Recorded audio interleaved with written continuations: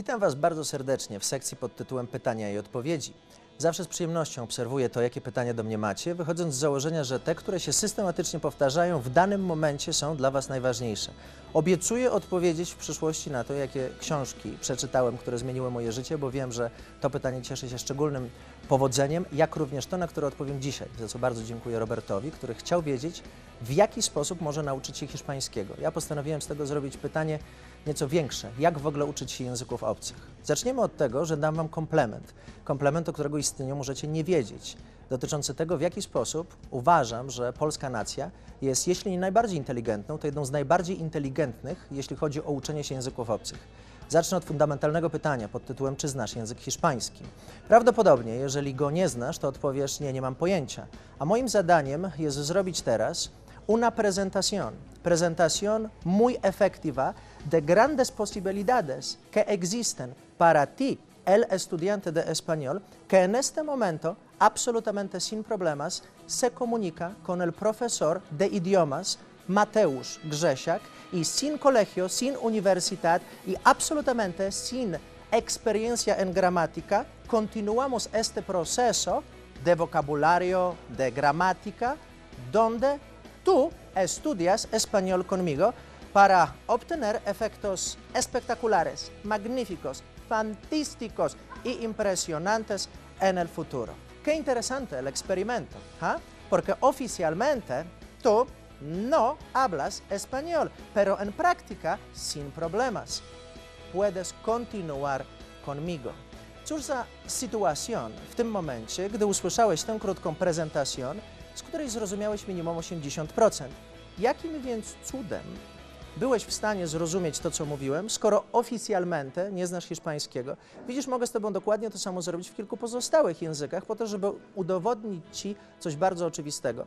Masz el potencjal lingwistyczny, o którego istnieniu nie masz pojęcia. To jest trochę tak jak buddyjski koan. Wyobraźcie sobie sytuację, w której bierzecie żebraka, wsadzacie mu sztabę złota do worka, które jest jego posiadłością, ale on o tym nie ma pojęcia, że te pieniądze dostał. Czy wobec tego jest bogaty? No bo oficjalnie przecież ma możliwość, istnieje taka koncepcja, że może z tego złota skorzystać, ale z drugiej strony on nie ma do tego dostępu. To jest tak, jakbyś miał pieniądze w banku, ale o tym nie wiedział albo zapomniał kodu PIN kod, nie mógł ich wyciągnąć. Dokładnie tak samo jest z Polakami. My jako nacja, wśród których osób to e, się wychowaliśmy, zawsze stawialiśmy najbardziej na intelekt jako główną wartość, którą Polacy się kierują. Doprowadza to do tego, że generalnie mamy ogromny problem z akceptacją popełnianych błędów.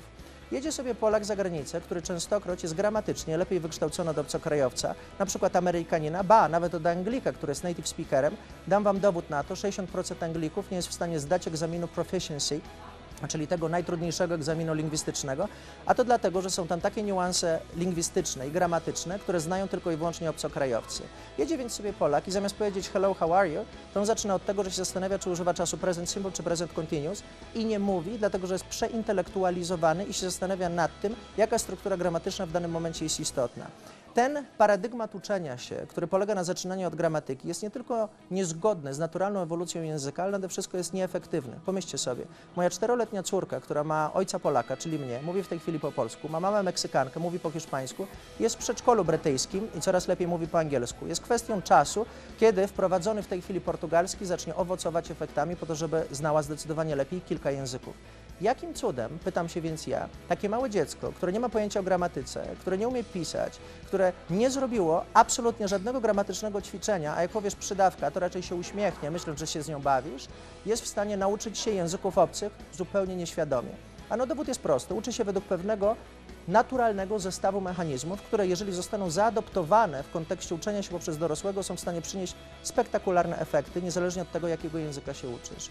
Oto dowód i oto technika na to, w jaki sposób to zrobić, biorąc pod uwagę, że w momencie, gdy później pójdziecie do szkoły, to może będziecie mieli takiego pecha, że po 10 latach wyjdziecie z przekonaniem, że nie macie talentu lingwistycznego, jeżeli cokolwiek takiego by istniało i nie będziecie mówić. Oto jak macie to zrobić, żeby nauczyć się języka. Pierwsza zasadnicza rzecz, wybór i selektywność języka. Stosujcie zasadę dźwigni. Nie ma potrzeby, żeby uczyć się wszystkich wyrazów, które istnieją, dajmy na to w języku francuskim. Jest ich aż 100 tysięcy. Francuz zna z tego 10 tysięcy, a więc tylko i wyłącznie 10%, ale używa w 90% sytuacji około 500. Z tego w 33% sytuacji używa raptem 25 wyrazów. Czy użyłeś w tym roku słowa ul? Prawdopodobnie nie, chyba że zwracałeś się do uli, ale to się nie liczy. Co za tym idzie, musisz się uczyć czegoś, co jest statystycznie relevantne, a więc jest powtarzalne w kontekście. Niestety, wchodzą tutaj w grę również wulgaryzmy, bo częściej przeklinamy niż używamy słowa pszczoła.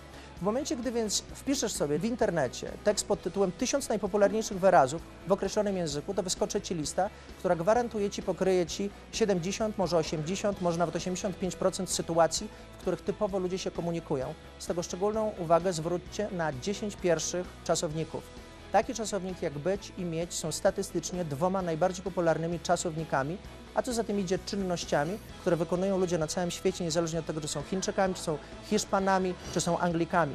Nauczcie się takiej struktury. Ja jestem i ja mam, ty jesteś i ty masz, on jest i on ma i zaczynajcie ją ćwiczyć i cały czas powtarzać. Nie ma możliwości nauczenia się mówienia w języku obcym bez fizycznego powtarzania tego, co się słyszy. Związku z czym zwracajcie baczną uwagę na to, żeby nie tylko słuchać, będziecie mieli umiejętność pasywną, ale również systematycznie mówić i powtarzać to, co usłyszeliście na przykład w radiu. Gdy już macie słownictwo, totalnie nie ucząc się gramatyki, zdecydujcie się na proces zwany totalną imersją, czyli całkowitym zanurzeniem się w języku. Dziecko w momencie, gdy się uczy języka nieświadomie, jest nim otoczone, a co za tym idzie, mózg stymulowany poprzez determinant lingwistyczny w środowisku uznaje, że jest to coś istotnego.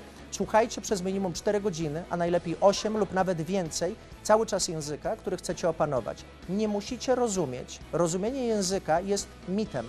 Dziecko najpierw językiem mówi, a później dopiero rozumie jego znaczenie. Więc słuchajcie bez zrozumienia. Mózg się zacznie do tego dostosowywać, ponieważ prawie 100% śladu pamięciowego jest generowane w pierwszych 24 godzinach powtarzania, więc jakbyście chodzili na jakieś kursy i uczyli się dwa razy w tygodniu, to gdy macie dwa albo trzy dni przerwy, czy też nawet cztery, to wasz mózg po prostu wyeliminuje tę wiedzę i zapomni z lekcji na lekcję, bo nie ma wystarczającej stymulacji. Musicie tego słuchać przez minimum kilka godzin dziennie.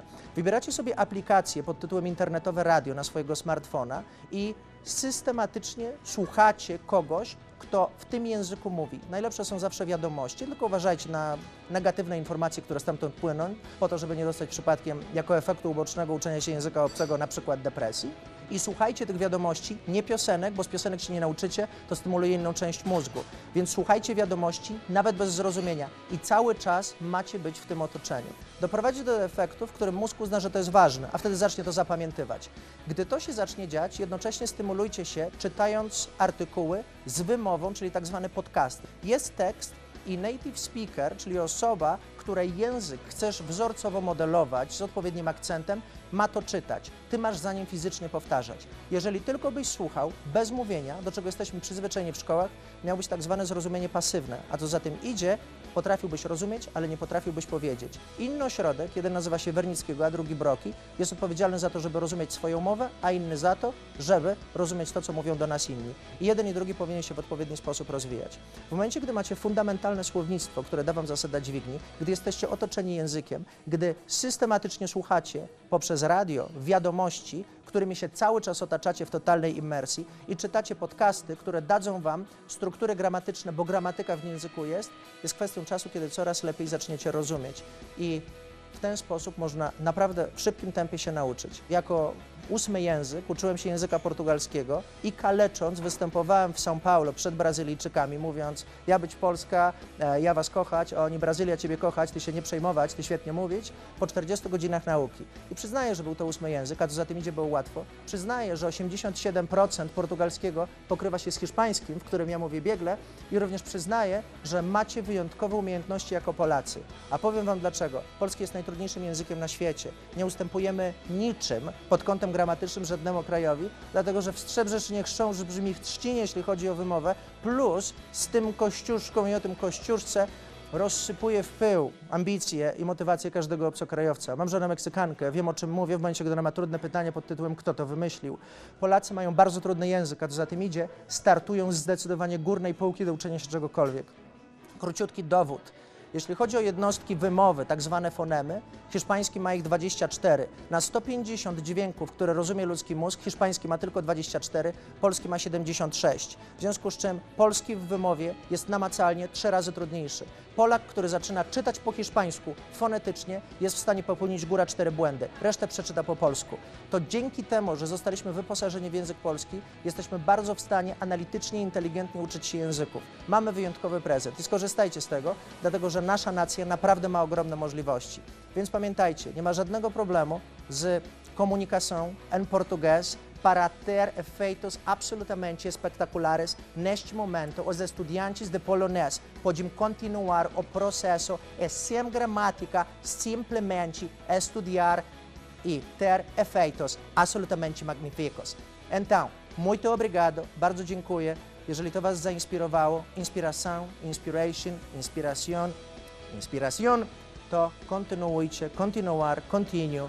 Wyjątkowy proces, proces, el proceso, jeśli chodzi o studiowanie języków obcych, które da Wam dostęp do tego, żebyście byli bardziej inteligentni, rozumieli różne kulturas, a nade wszystko stając się poliglotami, będziecie mieli wyższe IQ, dłużej żyli, lepiej się czuli, jeżeli w globalnym, adekwatnym do tego świecie, który daje Wam możliwości dostępu do wyjątkowej wiedzy i rozumienia tego, na czym polega bycie obywatelem świata. Języki były dla mnie jedną z najważniejszych przygód życiowych i do dzisiaj uważam, że największym respektem dla jakiegokolwiek innego narodu jest nauczenie się jego języka i wejście w kulturę po to, żeby zrozumieć.